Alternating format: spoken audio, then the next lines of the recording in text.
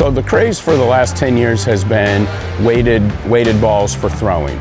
Um, so everything's been about training uh, your pitchers to throw harder using uh, heavier balls to build arm strength. And, and, in recent years now that trend is, is coming over to the hitting side. So by using more weight, and especially when you put it on the hands, you can train with more weight than has ever been possible with it being on your hands. It's going to, the first thing it does is going to create a, a proper swing path. So it's going to help you keep your hands inside the ball and create that proper swing path, all the while uh, increasing your hand speed, increasing your bat speed, which is going to lead to greater exit velocity, which is now the, the um, thing that we're looking to build with hitters is exit velocity, which is how hard the ball comes off the bat.